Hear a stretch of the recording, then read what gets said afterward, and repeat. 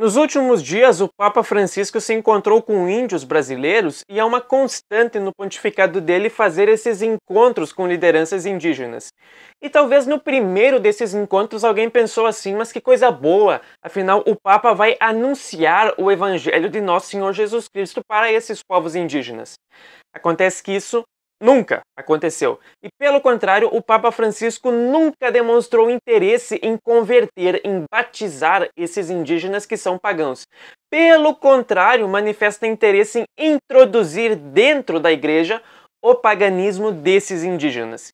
E o Papa não mostra interesse, aliás, pela conversão de ninguém por que, que isso acontece e afinal por que, que o Papa se encontra com índios ou com pessoas de outras religiões se ele não quer convertê-los? Qual que é o objetivo de tudo isso? Eu vou lhe explicar no vídeo de hoje. Como eu falei há pouco, parece que o objetivo do Papa Francisco é de trazer o paganismo dos índios para dentro da Igreja Católica. Isso que já ficava insinuado, por exemplo, na bênção que uma bruxa mapuche fez ao Papa, entretanto se mostrou muito mais explícito no encerramento do Sínodo da Amazônia, quando bispos e cardeais trouxeram nos ombros esse ídolo pagão e todos os deuses dos pagãos são demônios, que é a grande mãe, a mãe terra, a Pachamama, tudo isso nesse contexto de um pontificado ecológico e entronizaram no Vaticano essa deusa pagã, após um culto feito por indígenas e orações feitas diante da imagem supostamente não para ela, na qual participaram, por exemplo, o próprio Papa. Então, afinal, por que, que o Papa faz tanta promoção do paganismo e de outras religiões e não faz da propagação da fé católica? Meus caros, a fé católica sempre se difundiu do seguinte modo: são apóstolos que fazem então a pregação anunciando a vida, paixão, morte e ressurreição de nosso Senhor Jesus Cristo. E anunciam a doutrina católica, ensinada pelo magistério da Igreja em conformidade com a revelação feita nas Escrituras e em consonância com a tradição de origem apostólica, visando obter a conversão, a entrada daqueles pagãos, daquelas pessoas de outras religiões dentro da Santa Igreja Católica, para que batizados tenham a sua vida espiritual de oração para um dia adentrarem na luz perpétua do céu. Assim, a Igreja sempre se difundiu por meio do apostolado e da pregação alicerçada no exemplo de santidade ou de vida de piedade intensa do apóstolo. Acontece que o Papa Francisco não gosta disso. Ele taxa pejorativamente com o termo espantalho de proselitismo tudo aquilo que é a pregação de uma doutrina como a católica visando a conversão do ouvinte. O Papa não quer proselitismo, o que no próprio dicionário sempre foi tratado como um sinônimo de apostolado em matéria religiosa. Ao proselitismo político e a pregação da doutrina católica feita pelos santos foi uma maneira de proselitismo religioso, porque ela visa a conversão do ouvinte mediante a graça de Deus para a religião católica. E não tem, parece que não tem nada, talvez exceto a missa tridentina, que o Papa deteste mais do que o proselitismo. Tanto que numa viagem que ele fez à Geórgia, que é um país cismático, o proselitismo é um pecado contra o ecumenismo. Jamais se deve fazer proselitismo com os ortodoxos. Como, como se o, o, o ecumenismo é um erro condenado pelo Papa Pio XI na encíclica Mortalium Animus. E não se trata aqui da luta de Pio XI contra Francisco, de um papa contra outro, mas de toda a tradição da igreja exposta e ensinada pelo Papa Pio XI que mostram esta impossibilidade de encontros ecumênicos que o Papa Francisco ignora e vai contrariamente a essa. E por isso, nós não podemos seguir nesse erro, claro.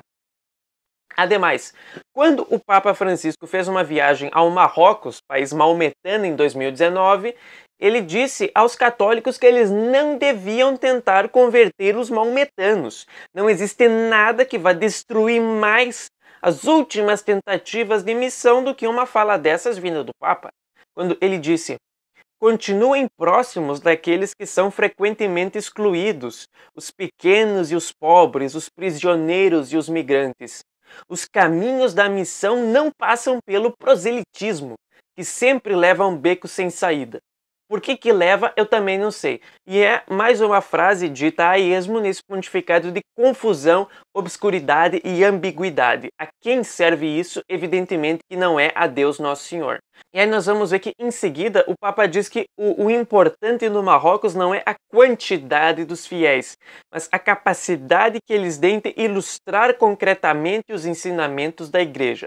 O que, que isso significa? Ele tenta explicar do seguinte modo: é, a nossa missão não é realmente determinada pelo número ou tamanho do espaço que ocupamos, mas pela capacidade de gerar mudanças e despertar maravilhas e compaixão. A igreja cresce não por proselitismo, mas por testemunho. E essa é uma constante no pontificado de Francisco. Ele já disse várias vezes: evangelizar sim, proselitismo não. Como se tudo aquilo que os santos e apóstolos fizessem não fosse um proselitismo religioso, mas uma, uma evangelização, um testemunho.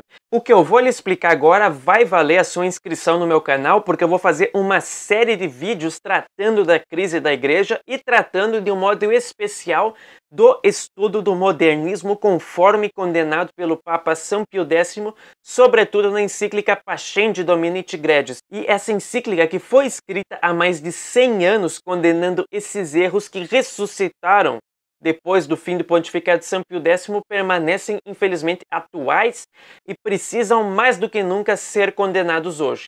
Então, a encíclica Pascendi, ela condena a pior heresia de todos os tempos, que é o modernismo.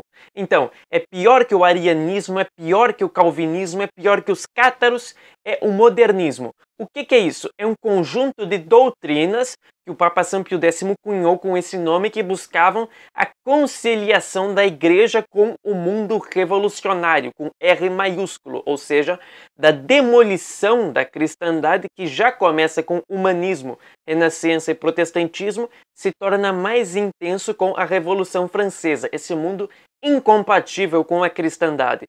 Pisar a conciliação com esse mundo revolucionário na teologia é o objetivo do modernismo, que é de perverter e transformar a Igreja Católica num agente revolucionário. Então, os modernistas, ancorados em Kant, em Descartes, em toda a filosofia moderna, Dizem que o homem não é capaz de conhecer a verdade nas coisas, não pode ter certeza absoluta de nada. O homem só conhece fenômenos, só conhece manifestações, mas ele é incapaz de conhecer a verdade nas coisas. E de que, portanto, ele deve apenas investigar a realidade através da ciência e da filosofia e de que aquilo que está além do campo científico e aquilo que está abaixo do campo da consciência, ou seja, do subconsciente humano, é o grande mistério que o homem, desejando conhecer com o espírito, com o primordial, ele então manifesta esse sentimento religioso de busca do mistério de busca de Deus por meio da religião. Então, toda religião para os modernistas, ela nasce do espírito humano que deseja conhecer aqueles mistérios que só a ciência não é capaz de explicar, mas que tudo dentro desse mundo, os acontecimentos históricos, a, a doutrina deve ser explicada pela ciência e pela filosofia. E o que está além disso é uma experiência religiosa que é puramente interior, acontece dentro da alma daquela pessoa que busca se reconectar com o divino. E o divino, para os modernistas, é uma espécie de energia não um Deus que é uma pessoa, que é um ser inteligente que criou tudo, mas é uma energia cósmica que está presente em tudo e de modo especial no interior da alma do homem. Essa busca do homem de entrar em comunhão com o divino é o grande anseio do sentimento religioso. E como quem busca, encontra o homem religioso que busca esta esta religação, ele vai ter em algum momento uma experiência de Deus. Presta atenção, meu caro, porque isso vai ser fundamental se você quer entender a crise da igreja hoje. Para os modernistas, o objetivo da religião, de qualquer religião, é que o fiel tenha a experiência de Deus, que os modernistas chamavam de encontro com o Cristo. Ou seja, de que em algum momento um homem muito profético, muito espiritualizado, ele consegue essa religação com o divino. E ele tem um conhecimento e uma sensação da presença e da vida de Deus no interior da alma dele que é tão intensa que ele tem certeza absoluta, ele se religou com o divino. Só que isso é algo que é um conhecimento intuitivo da verdade, da verdade e de que ele não consegue transmitir isso de um modo racional, porque a fé está oposta em um campo completamente distinto da razão para eles. Então, esse homem espiritualizado, que é um profeta, ele vai começar uma pregação de ensinamentos, de histórias que vão induzindo os seus discípulos a terem eles mesmos a sua própria experiência de Deus, a sua própria conexão com o divino. Então, Abraão, Maomé, Moisés, Confúcio, Buda, Jesus Cristo, segundo os modernistas, foram apenas profetas homens que fizeram essa religação com Deus e que passaram a fazer pregações para que os seus discípulos conseguissem reproduzir a experiência de Deus na vida deles. E de que, continuam os modernistas, todas as religiões são construções humanas feitas pelos discípulos desses profetas, que vão então transformando em artigos de fé, em disciplina, em mandamentos, em liturgia, em direito canônico, o equivalente, tudo aquilo que vai ser o que? Útil para que os fiéis consigam reproduzir na vida deles a experiência de Deus. E de que, portanto, as religiões, os mandamentos, por exemplo, de Deus, do Deus verdadeiro, não têm uma importância em si mesmos, são apenas instrumentos pedagógicos para que os fiéis repitam e reproduzam em suas vidas a experiência de Deus. Por isso, a aparente contradição de todas as religiões, onde é insano falar que alguém é budista e muçulmano ao mesmo tempo, essa contradição é uma construção humana e que é, portanto, errada, incompleta, mas que manifesta validamente a busca da comunhão com o divino, e de que, portanto, todas as religiões, no fundo, são uma só. Então, é fundamental ter isso bem diante dos nossos olhos, se os senhores querem entender, por exemplo, a homilia que o Papa Francisco fez a respeito dos Dez Mandamentos da Lei de Deus. Que a igreja sempre ensinou que você se você desobedecer esses mandamentos e vier a falecer nesse estado de pecado, você vai para o inferno. O Papa Francisco tem uma outra doutrina que é o seguinte: Caríssimos, essa primeira exposição do apóstolo aos Gálatas apresenta a novidade radical da vida cristã. Todos aqueles que têm fé em Jesus Cristo são chamados a viver no Espírito Santo. A lei nos leva a Jesus. Mas alguns de vocês podem me dizer: Mas, padre, uma coisa, isso significa que se eu rezar o credo, não tenho que cumprir os mandamentos? Não. Os mandamentos são atuais no sentido de que são pedagogos que levam você ao encontro com Jesus. Mas se você deixar de lado o encontro com Jesus e quiser dar maior importância aos mandamentos, esse foi o problema dos missionários fundamentalistas que se intrometiam entre os Gálatas para desorientá-los. Que o Senhor nos ajude a ir adiante no caminho dos mandamentos, mas olhando o amor de Cristo com o encontro com Cristo, sabendo que o encontro com Jesus é mais importante do que todos os mandamentos. O discurso do Papa Francisco se encaixa naquilo que São Pio X classifica como um modernista crente. Então, para o Papa Francisco, a importância dos mandamentos não é que se você pecar contra a castidade, você peca, e se você não se arrepender, não se confessar, etc., você vai para o inferno. Não. O, os mandamentos eles são pedagogos que vão lhe guiando para o encontro com o Cristo. Mas se você se preocupa demais com não pecar, com com praticar a virtude, fazer penitência, a sese, você está supervalorizando a construção que no fundo é humana, que são instrumentos pedagógicos que lhe proporcionam um encontro com o Cristo, e você vai negligenciar do que importa que é ter a sua experiência de Deus, o seu encontro com Jesus. Isso é modernismo do início ao fim. E aqui, meus claros, já fica claríssimo por que, que o Papa Francisco gosta tanto dos indígenas, mas não se manifesta nem um pouco preocupado com a conversão deles?